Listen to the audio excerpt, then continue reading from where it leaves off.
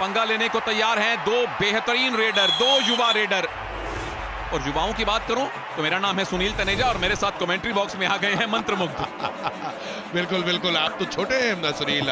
और इतने कमाल के ऊंचाइयों को छू चुका है। आपने आप नवीन के ही हम उम्र लगते हैं मुझे कभी कभी। नवीन कह रहे थे आप मुझसे छोटे लगते हैं। चलिए कोई बात नहीं I will still take that as a compliment Arjun Deshwal क्या बेहतरीन अंदाज में उन्होंने इंप्रेस किया है प्रभावित किया है हमें? हालाँकि ये पहली रेड इनके नाम नहीं रही इनकी किस्मत।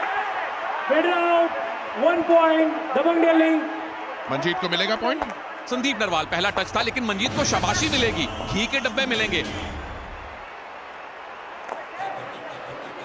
एक बहुत बड़े मील के पत्थर के करीब खड़े हैं। वीवो प्रो कबड्डी के इतिहास में त्रेपन मैच में 600 पॉइंट्स कमाने वाले। आ, आ, आ, अभी भी चालू है स्ट्रगल इंतज़ार करना होगा। इंतज़ार करना होगा। सबकी साँसें थम गई थी। सब खड़े हो गए थे कमेंट्री बॉक्स में भी सेलिब्रेट करने के लिए लेकिन नहीं। दो पॉइंट्स मिलेंगे यहाँ जयपुर पिंक पैंथर्स को। और पहले जिसने डाइव लगाई साहुल कुमार सुपर टैकल उनके नाम जाएगा। डू और डायरेट यानी बिना पॉइंट लिए वापस नहीं जा सकते आशु।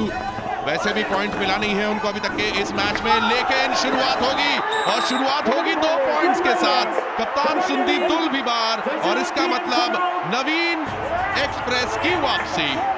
तो नवीन जोगिंदर बाहर बैठे थे अब अंदर आ गए हैं। बहुत ज़्यादा अंतर है नहीं। ना इनके पॉइंट्स में और ना ही टीम के पॉइंट्स में। बारह बारह से बराबरी है।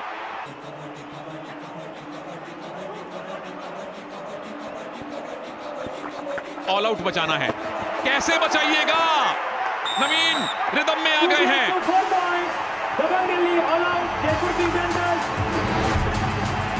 पुरानी दिल्ली रेलवे स्टेशन से नवीन एक्सप्रेस निकल चुकी है।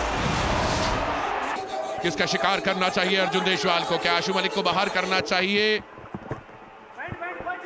कई सारे खिलाड़ी सब्सिट्यूट हो चुके हैं दबंग दिल्ली की तरफ़ से। ओ बिल्कुल सही!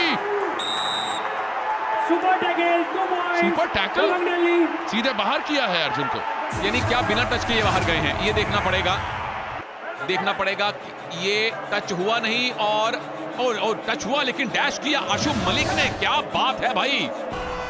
दबंग दिल्ली सात मैचेस के बाद आठवें सीज़न में पहला मैच हारे हैं और जयपुर पिंक पैंथर ने हराया है।